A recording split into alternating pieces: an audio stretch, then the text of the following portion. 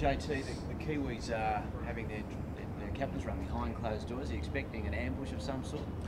Yeah, you always do when you come up against the Kiwis, especially in this clash. Um, you know, they come out firing, they've picked a lot of debutants, so that's going to bring a lot of enthusiasm for them, and uh, no doubt they'll try and ambush us. The side they've selected is definitely a surprise to most people. Um, no Jared Waerea-Hargreaves. So, what, what do you read into that? Oh, well, obviously they're looking for towards the, the, the future um, with the with the team that they've picked.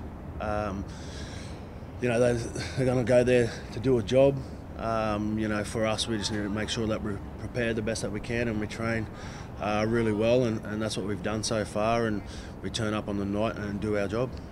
Tim Sheens said yesterday he thinks you boys deserve a big crowd turnout, and, and you know, predicting maybe not a big crowd. What would you like to see? Oh, no doubt. We'd love to see a big crowd there. Um, you know, I can't remember the last time I played in a green and gold jersey here in Sydney, so hopefully, uh, you know, a lot of people turn out to support us, and not only us, but also the Kiwis. I guess it's also an opportunity, given you won the World Cup overseas, you know, not many Aussies would have been able to watch you, an opportunity to come out and even celebrate that victory. Yeah, uh, I would like to think so. So hopefully all the Sydney siders get out there and support us. You know, it's been a, a, a big uh, year for, for Australian Rugby League with winning the World Cup and now the, the, the, the test this uh, this week. So hopefully, you know, everyone gets out there and supports us. This debate every year about, you know, is it meaningless and that, how do players, how do you guys view that? Because we do have the same debate every year about this test and its timing and whether it's warranted and uh, yeah, look, every time I get the opportunity to pull on the green and gold, I'm, I'm going to grab it with both hands. Um, you know, that's for the power brokers of our game to come up with uh, better solutions there. But, you know, while this test is available and my form's good enough to be picked, then I'll be playing in it. And other sports like AFL don't get this opportunity. You guys looking at a record 16 test wins in a row. I mean, that's almost been a little bit lost in all this too, hasn't it? Uh, we don't want to get too ahead of ourselves. But uh, yeah, look, you know, it'd be a great record to have.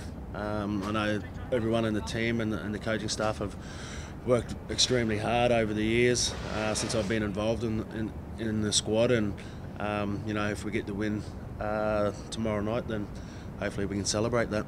The team sheets do look a little bit lopsided. Um, in terms of, do you think fans are looking for the wrong thing? If they're, they're looking for a tight contest, but should they also be looking for other things, you know, like the unveiling of a new superstar in that Kiwi side because of the next Benji Marshall, the next, you know, there's other things to look for in a match like this, isn't there, that could be exciting? Yeah, yeah definitely. Um, you know, like I said, they picked uh, a lot of debutants in, in, that team, so you know it's a good opportunity for them to, to shine against the, the best. And um, you know, like I said, if we don't go out there with the right attitude, then you know they'll ambush us, and you know we'll be on the back foot, which has happened before in the past. John, I was having a chat with Greg Bird the other day, and he said, given his recent form with his goal kicking, he's going to sack uh, Cameron Smith with the boot.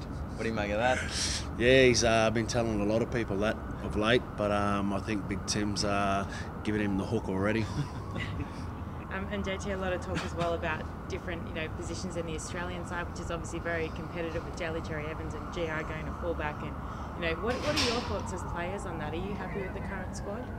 Yeah, I'm happy to be in, in the current squad, that's for sure. Um, look, there's always, you know, people breathing down your neck for your position. Uh, you know, and that's why you don't take it for granted. That's why you need to perform when you do pull on the green and gold or, or the other jerseys because if you don't, you know, there's someone there that can easily slot in and, and do your job and probably do it better. What's your take on the Kiwis number six options? Isaac uh, John to start with possibly Tohu Harris as well?